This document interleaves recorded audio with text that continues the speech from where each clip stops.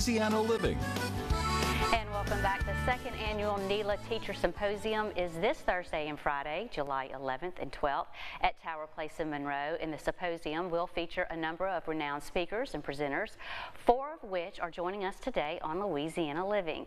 And for this first segment, I'd like to introduce Angel Parisi, who is next to me. She's a mentor and founder of Strong Me Ministries and Angel in the House Music.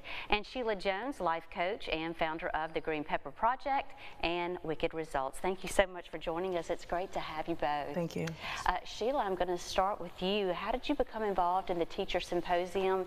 And most of all, why did you say yes? Oh, it's a great story. I was certified through Center for Teacher Effectiveness on Time to Teach, and a couple of us crossed paths with Faith, and she recruited us. And when I heard her message about the symposium, it was inspiring, it was inspirational. Mm-hmm. She was so passionate. She is. I just could not, I, I couldn't say yes fast enough.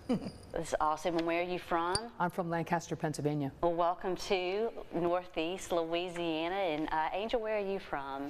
Well, I have two homes, North Texas and Southern California. Okay. Well, welcome to Northeast Thank you. Louisiana. After you. you left the classroom, what inspired you to motivate teachers to love teaching again?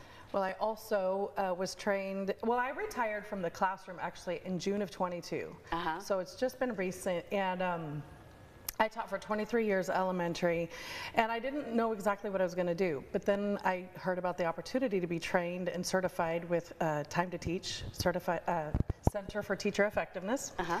And so I uh, thought that would be a great way for me to carry on what I did in the classroom to help other teachers do the same thing. Wonderful. And Sheila, for the teachers who registered for the symposium and the community participants, there were some questions about what was important to them. And one of the components was mental health and wellness.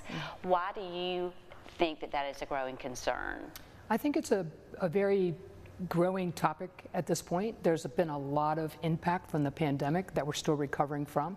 I think the teachers have a lot of things on their plates between trying to manage the students, trying to manage the parents, trying to manage the curriculum, and all of the things that are connected to it. And I feel like there's a lot of pressure coming to them from all sides, mm. and it's hard to balance. So I think it's really a, a very big topic, mental health and being able to balance everything. It was one of the main topics of uh, concern among Yeah. the participants. Yes. We're out of time for this segment, but it's so nice to meet you, and I wish you much success at the Thank you. symposium, and thank you for visiting us here on Louisiana Living. Thank and we're going to also be joined by two more presenters, incredible speakers here on Louisiana Living. That will be after the break, so stay with us.